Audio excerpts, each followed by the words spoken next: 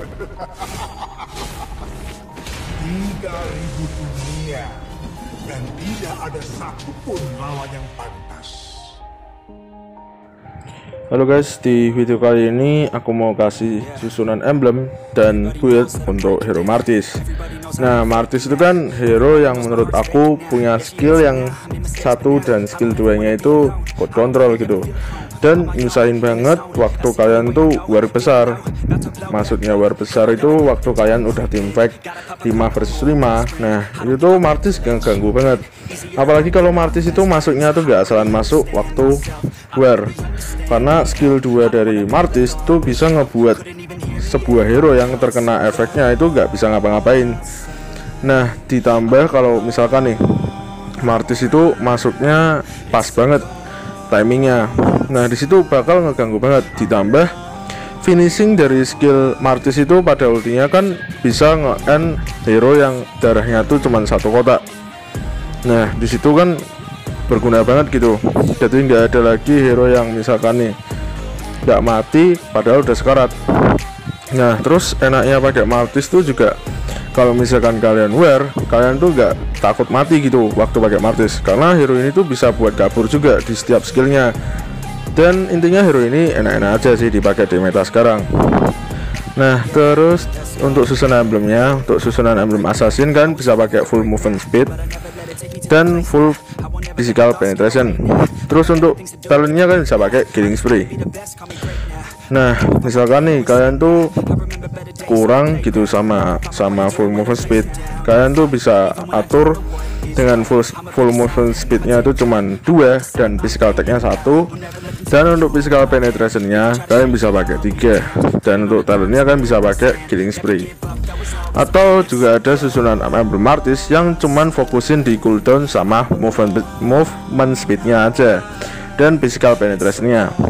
Terus untuk selanjutnya kalian juga bisa movement speednya itu cuma satu dan physical attacknya cuma dua. Dan sisanya full penetration. Nah terus untuk kalian yang suka pakai emblem fighter kalian bisa pakai susunan emblem seperti ini. Nah untuk slot pertama kan bisa pakai full physical attack. Dan untuk slot keduanya kalian taruh aja satu talent point kalian di SP dan sisanya di physical penetration. Untuk talentnya festival of blood nah kalau memang kalian lebih suka HP HP nya yang tebel kalian pakai aja SP nya 2 talent point physical penetration nya cuma satu. Intinya sesuai kalian aja kalau pakai emblem fighter. Terus kalau misalkan kalian tuh pengennya full physical attack sama full physical penetration juga gak apa-apa. Intinya kalau emblem fighter di sini itu kan benar-benar sesuaiin menurut kalian enak lebih tebal atau lebih sakit. Nah jadi atur aja sesuai yang kalian inginkan untuk buildnya. Di sini aku punya tiga susunan build yang sebenarnya sih mirip-mirip. Cuman aku mau jelasin aja. Karena memang build itu harus ada alasannya ya. Nah misalkan nih kalian pakai Queen Swing Nah di meta sekarang itu kan Queen Swing itu kurang. Kalian bisa pakai item Magic Defense Karena di meta sekarang tuh hero-hero Magic Damage-nya udah di luar akal gitu kalian bisa ganti Queen Swing kalian dengan Athena Shield atau Radiant Armor. Sesuaiin aja sama damage terbesar dari musuh. Kalau memang di musuh itu banyak hero burst damage magic kalian bisa pakai Athena Shield. Nah kalau misalkan di sini tuh kalian pengen damage nya cuma ada di Blood As nih. Jadi kalian memang fokusnya itu nggak damage.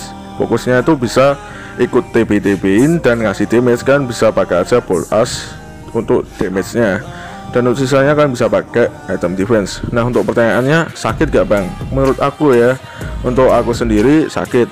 Karena Martis tuh memang sebenarnya hero nya tuh udah sakit dan ngeganggu banget. Kalau kalian tahu kapan masuk warnya. Terus untuk item yang full damage Martis di sini meskipun full damage tapi item defense-nya tetap ada brute force karena menurut aku brute force itu item defense wajib yang harus dipakai sama Martis menurut aku ya. Kalau kalian punya pendapat berbeda kan bisa tulis saja di kolom komentar. Nah kalau misalkan kalian memang nggak suka brute force itu kalian bisa ganti item defense yang sesuai aja sama musuh. Terus untuk build yang semi tank di sini aku mau kasih untuk item damage nya kalian cuman andelin Blood Ash sama War X Nah, untuk sisanya kan bisa pakai defense. Nah, untuk defense di sini untuk anti keras atau queen swing kalau kalian memang merasa tidak perlu, kan bisa ganti salah satu dengan oracle atau ya item defense yang menurut kalian cocok kalian pakai di game tersebut. Terus untuk spell di sini biasanya Hero Martis itu cocok pakein sama flicker. Tapi juga ada pemain-pemain lain yang pakai itu execute. Nah, berarti ini benar-benar spell tuh sesuai sama gameplay kalian. Cuman kalau aku saranin sih sampai sekarang Martis tuh lebih cocok pakai flicker. Terus untuk hero yang ngebuat kalian susah atau setidaknya bisa ngebuat kalian tuh kesulitan tuh Balmon Balmon di sini meskipun skill 2 Martis tuh bisa ngasih code control tapi tetap aja skill 2 nya itu enggak ke cancel. Ke cancelnya hanya skill 2 Martis yang kedua kalinya jadi kan skill 2 Martis itu kan bisa dua kali itu. Nah untuk yang kedua bisa nge-cancel skill 2 dari Balmon terus untuk hero yang ngeganggu atau kalian bisa satu lawan satu sama Martis itu Xbox.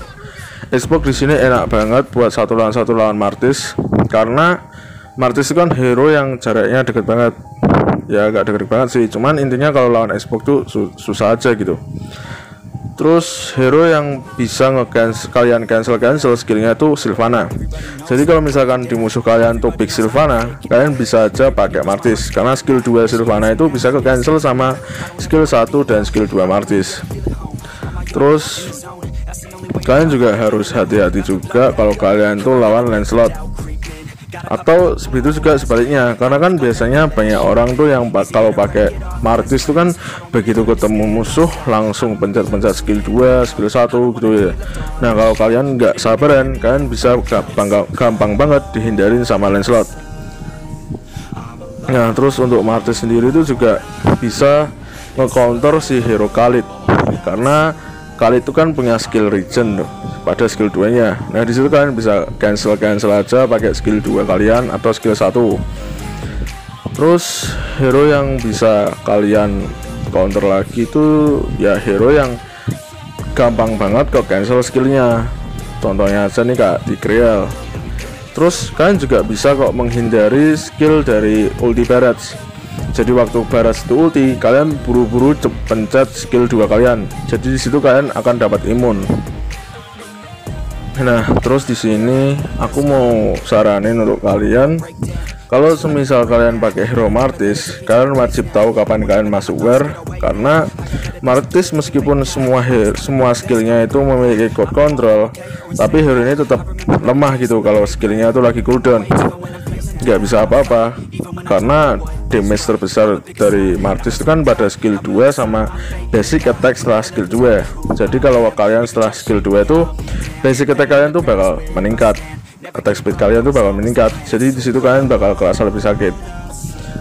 Nah terus untuk pertanyaan Bang Martis tuh bisa dipakai di meta sekarang nggak